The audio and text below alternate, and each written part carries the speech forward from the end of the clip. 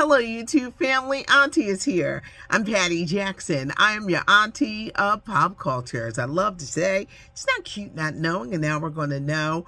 There's so much going on. Come on, get this hug in.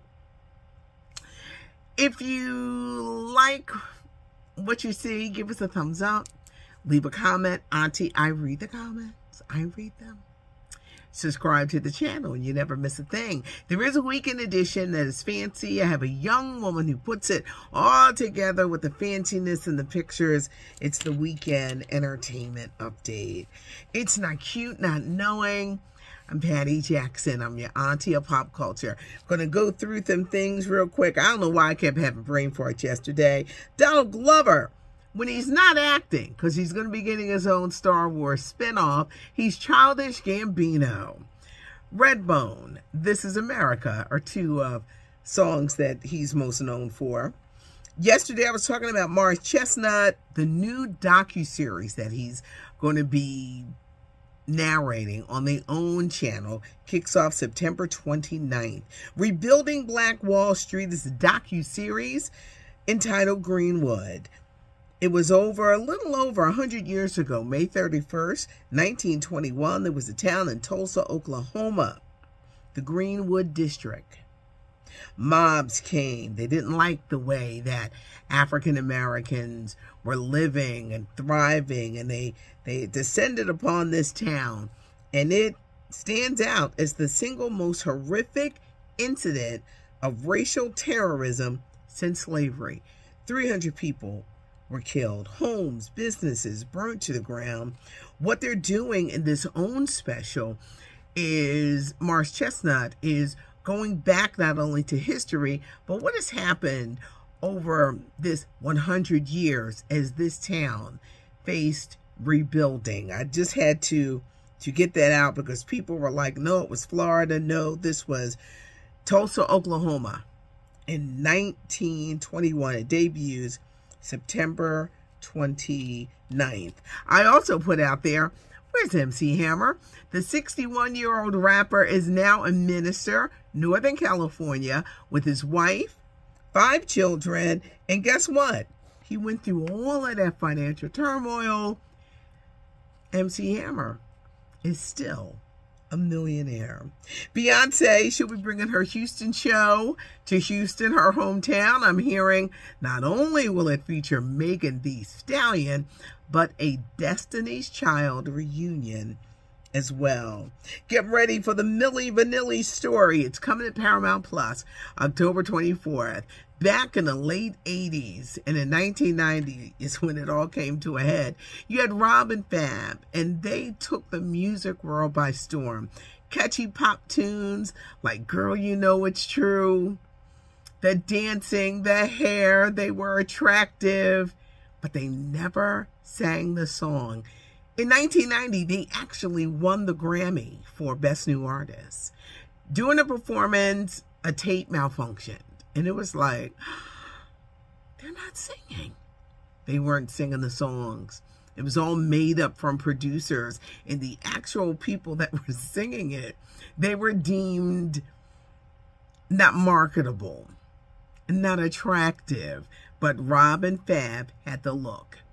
This really destroyed the guys because they said they thought they were doing a one-off. Okay, we'll let y'all use these vocals, but we want to sing our own songs. They never let them sing. Rob passed away in 1998 from an accidental alcohol and drug overdose. Fab has moved on, but he said that they were used and abused and didn't even want to be a part of this big fraud, but it really destroyed their music career. I interviewed them. I, it was uh, when I first came to DAS, late 80s, and they brought them to this mall, Cheltenham Mall. Well, child, they walked in there like they was bigger than the Beatles. They were bigger than the Beatles. Don't look at them. Don't touch them. And it was crowds of people, and it was all this excitement. Milli Vanilli is here.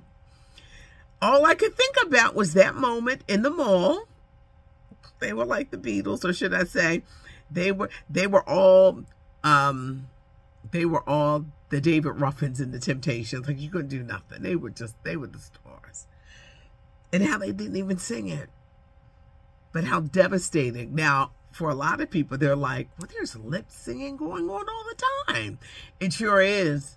It sure is. So what Rob and Fab got caught up in was nothing new, but it was devastating. This documentary is coming out on Paramount Plus October 24th. You know I'm going to keep reminding you that this is coming. Let's talk divorces. Jeezy is divorcing Jeannie Mai of The Real. They've only been married two years. They just had a baby. Their wedding pictures were beautiful. Jeezy got a new book, Adversity for Sale. He's doing well with that, with his podcast. But what happened? What happened in this marriage for Jeezy to say, I'm out? This is amazing because it was just like the both of them were so in love. I'm telling you, they had the best wedding pictures, the blending of the families. But Jeezy has pulled out. Another shocking divorce is the Wolverine guy, Hugh Jackman. Broadway star, movie star, actor. He's divorcing his wife of 27 years. And they put out some statement. It's all about growth sometimes you can grow grow apart from a partner, but that was very shocking because it always seemed like they had a very strong marriage. This Monday, Jennifer Hudson is returning with new producers. Sherri Shepherd Show is returning, new producers. It's going to be interesting to see the changes in the show. Barbie is streaming on the video on demand. Fast 10, it is streaming now on the Peacock channel. Actor Tyler James Williams, Mr. Gregory from Abbott Elementary, has had to go to a judge to get a restraining order against the stalker. This is the backstory with the stalker. The stalker first started harassing Tyler James Williams. Y'all know we know him from Everybody Hates Chris on social media. Then the man traveled all the way across the country and showed up where he lived. He lives in a gated apartment. I don't know how he got in there. But he would ring the doorbell. In one instance, he rang Tyler James Williams' doorbell 30 times within a four hour period. The man was claiming they were involved. But Eddie says, Tyler, look at me, Eddie, Mr. Gregory. Tyler James Williams says he does not know this man. Now I know how cynical you are, so I'm just going to finish telling the story. The man is, he said, is delusional because they're not in any kind of relationship, and he is not in a relationship with a man. There's a lot of holes in this, so just keep going with me. But he's having a problem with a stalker, and stalkers are, are, are no fun. And if they can get that close, he can't even go back there to live because the man not only knows where he lives, but knows how to get inside the gated community to get in the area of the ring camera and ring the bell. Strange. I'll keep you posted on what's going on. Tyler Perry recently made headlines. He's giving out love advice, y'all. Tyler Perry says, and y'all know I love Tyler. Tyler Perry says Date that broke man.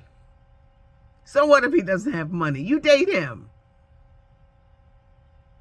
Good thoughts. See, it's not, oh, this is my Deja. Deja, come in. This is the young lady who teaches me all the stuff on social media. Come around say hi. This is the YouTube family. Oh, this is family. this is this this is the future right here. she she she is the future. Tyler Perry says, date that broke man. Your thoughts this is a an unfolding thing, and I'll tell you why. No, you shouldn't discriminate against a guy because he may not have as much money as you. He may not be as well as you.